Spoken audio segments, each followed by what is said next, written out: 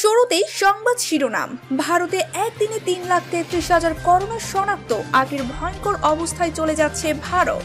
অমিক্রণের কারণে বিয়ে বাতিল করলেন নিউজিল্যান্ডের প্রধানমন্ত্রী জেসিন্ডা আর্ডার্ন।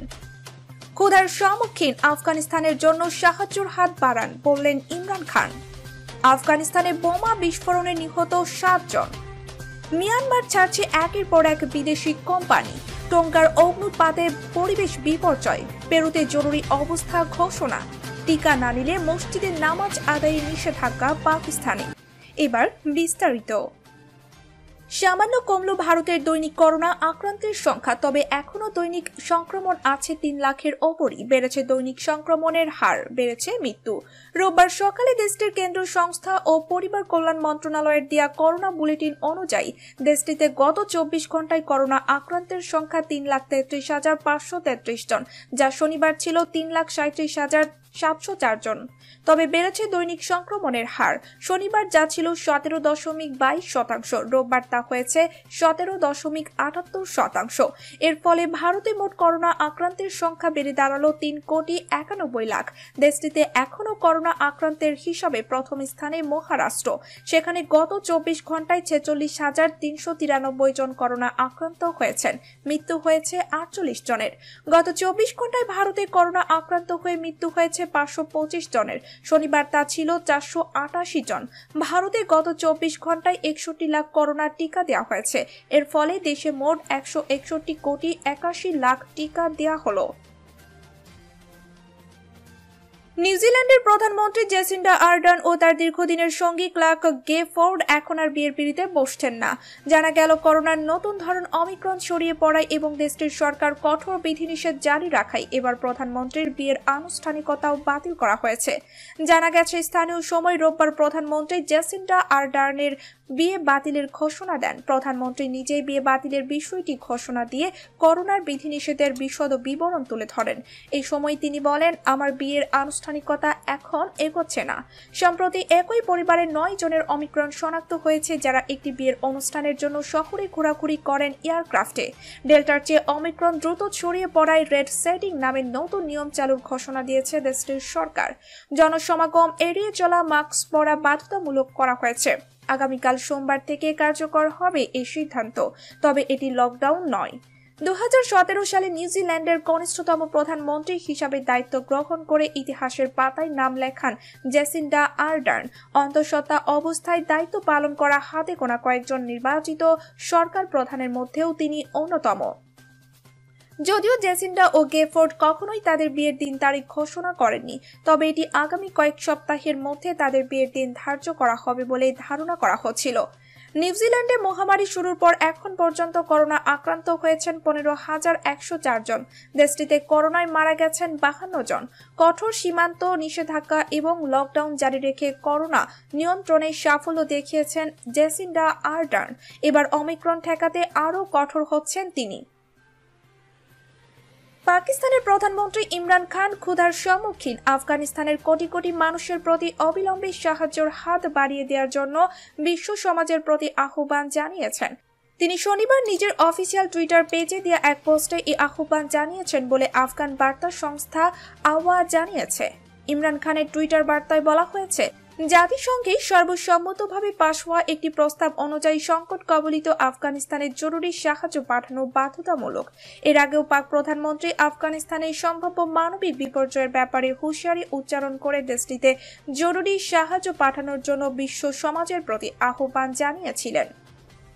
ইমরান খান এই সময় এ আহ্বান জানালেন, যখন দু হাজার একুশ সালে তালিবান আফগানিস্তানের ক্ষমতা গ্রহণের পর আমেরিকা সহ আরও কয়েকটি পশ্চিমা দেশ আফগানিস্তানের পাওনা টাকা আটকে দিয়েছে। শত শত কোটি ডলারের এই অর্থ সময় মতো আফগানিস্তানে পৌঁছালে দেশটির পক্ষে চলমান দুর্দশা কাটিয়ে ওঠা সম্ভব হতো। কিন্তু পশ্চিমা দেশগুলোর এই পদক্ষেপের ফলে আফগানিস্তান বর্তমানে একটি ভয়াবহ অর্থনৈতিক বিপর্যয়ের মুখে পড়েছে। আফগানিস্তানের পশ্চিমাঞ্চলের শহর হেরাতে একটি মিনিবাসের মধ্যে বোমা বিস্ফোরণে অন্তত সাতজন নিহত ও নয় জন আহত হয়েছেন। নিহতদের মধ্যে চারজন নারী। স্থানীয় সময় শনিবার হেরাতের প্রাদেশিক হাসপাতাল কর্তৃপক্ষ বিষয়টি নিশ্চিত করেছে। হেরাতের তালিবান কমান্ডার মাওলাই আনসারি বলেন, বিস্ফোরণে অন্তত নয় জন আহত হয়েছেন। হেরাতের গোয়েন্দা অফিস থেকেও বিস্ফোরণের বিষয়টি নিশ্চিত করা হয়েছে। গোয়েন্দা অফিসের এক মুখপাত্র সাবিত হারভি বলেন, একটি যাত্রীবাহী গাড়ির জ্বালানি ট্যাঙ্কের সঙ্গে বোমাটি সংযুক্ত করা ছিল। সেখান থেকে বিস্ফোরণটি ঘটে। হেরাতের প্রাদেশিক পুলিশ ও সাংস্কৃতিক বিষয়ক বিভাগও বোমা বিস্ফোরণের ঘটনাটি ঘটিয়েছে। তবে এ হামলার দায় এখনও কেউ স্বীকার করেনি। গত বছর পনেরোই আগস্ট তালেবানের কাবুল দখল ও সরকার গঠনের পর দেশটির নিরাপত্তা ব্যবস্থা কঠোরভাবে নিয়ন্ত্রণ করা হচ্ছে। বিশ বছরের যুদ্ধের অবসান ঘটিয়ে গত বছর একত্রিশ আগস্ট সব সৈন্য প্রত্যাহার করে নেয় মার্কিন যুক্তরাষ্ট্র ও তাদের মিত্ররা। কিন্তু সে সময় থেকে দেশটির জনসমাগম স্থলে বিস্ফোরণ ও হামলার ঘটনা বেড়ে যায়। এরকম বেশ কয়েকটি হামলার দায় স্বীকার করে জঙ্গি গোষ্ঠী ইসলামিক স্টেটের খোরাসান আঞ্চলিক শাখা আইএসকেপি, আইএসকের বিরুদ্ধে দেশটির শিয়া হাজারা সম্প্রদায়কে হামলার লক্ষ্যবস্তু করার অভিযোগ উঠেছে। শনিবারের যে এলাকায় একটি বাস স্টেশনের কাছে বোমা বিস্ফোরণ ঘটেছে, সেখানেও এই সম্প্রদায়ের লোকজনের বসবাস। হেরাত দেশটির তৃতীয় বৃহত্তম শহর এবং এটি ইরানের সীমান্ত লাগোয়া শহর। একের পর এক বিদেশি কোম্পানি মিয়ানমার থেকে কার্যক্রম গুটিয়ে নেওয়ার ঘোষণা দিচ্ছে। এবার সেই দলে যোগ দিয়েছে বিশ্বের জ্বালানি খাতের দুই বৃহৎ প্রতিষ্ঠান টোটাল ও শেফরন। রয়্যাল ডাচ শেলও জানিয়েছে, আপাতত সেখানে আর কোনো কার্যক্রম চালাবে না। মিয়ানমারের সামরিক সরকারের অব্যাহত মানবাধিকার লঙ্ঘনের কারণে ফরাসি প্রতিষ্ঠান টোটাল এনার্জিস ও যুক্তরাষ্ট্রের সেফেরন দেশটির তাদের কার্যক্রম বন্ধের সিদ্ধান্ত নিয়েছে। গতকাল শুক্রবার এ ঘোষণা দিয়েছে প্রতিষ্ঠান দুইটি, দেশটির দক্ষিণ পশ্চিমাঞ্চলে ইয়াদানা গ্যাস প্রকল্পে আরও কয়েকটি প্রতিষ্ঠানের সঙ্গে যৌথ বিনিয়োগে যুক্ত ছিল টোটাল ও স্যাফেরন প্রকল্প থেকে নিজেদের গুটিয়ে নেওয়ার কারণ হিসাবে দুইটি প্রতিষ্ঠান মিয়ানমারের সামরিক সরকারের মানবাধিকার লঙ্ঘনের কথা উল্লেখ করেছে। টোটাল এনার্জিস তাদের সংবাদ বিজ্ঞপ্তিতে বলেছে দুই হাজার একুশ সালের ফেব্রুয়ারির সামরিক অভ্যুত্থানের পর থেকে মানবাধিকার আইনের শাসন সহ মিয়ানমারের পরিস্থিতির দিনকে দিন অবনতি হচ্ছে যার কারণে আমরা পরিস্থিতি পূর্ণ মূল্যায়নে বাধ্য হয়েছি। আমরা মিয়ানমারের ইয়াদানা গ্যাস ক্ষেত্র এবং এমজিটিসি এর পরিচালনাকারী ও বিনিয়োগকারী হিসাবে টোটাল এনার্জিসের কোনো ক্ষতিপূরণ ছাড়াই চুক্তি থেকে নিজেদের প্রত্যাহার করে নেওয়ার উদ্যোগ গ্রহণের সিদ্ধান্ত নিয়েছি। সেভেরনের মুখপাত্র বলেছেন, মিয়ানমার পরিস্থিতি বিবেচনায় ইয়াদানা প্রাকৃতিক গ্যাস প্রকল্প থেকে নিজেদের কার্যক্রম হস্তান্তরের মাধ্যমে দেশটি ছাড়ার পরিকল্পনা গ্রহণ করেছি। মিয়ানমারের এই প্রকল্পে সর্বোচ্চ একত্রিশ দশমিক চব্বিশ শতাংশের মালিক টোটাল, অন্যদিকে তাদের অংশীদার সেফরনের রয়েছে আঠাশ শতাংশ মালিকানা, বাকিটা মিয়ানমারের রাষ্ট্রীয় কোম্পানির মালিকানাধীন।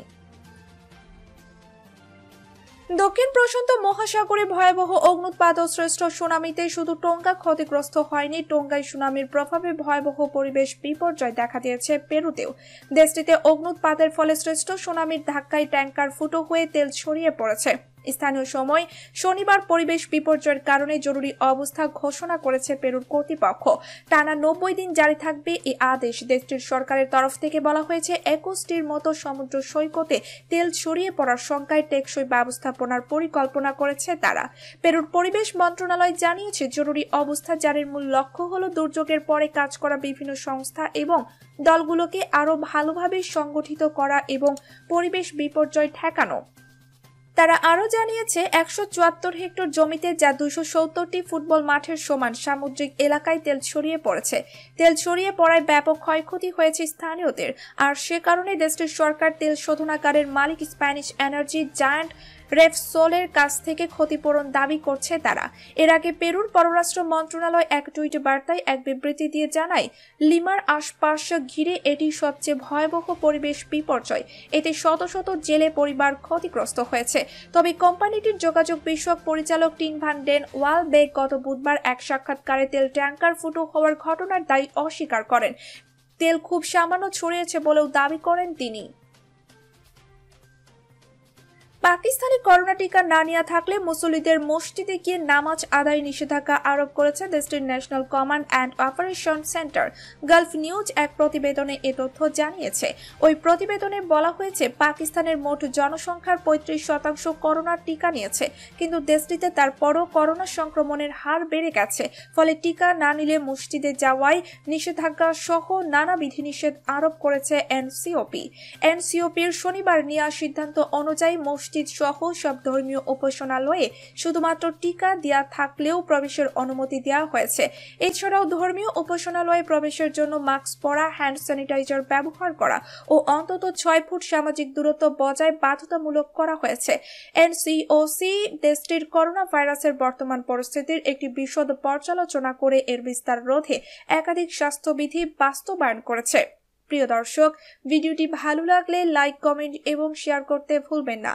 প্রতিদিন আপডেট খবর পেতে আমাদের সাথেই থাকুন। ধন্যবাদ।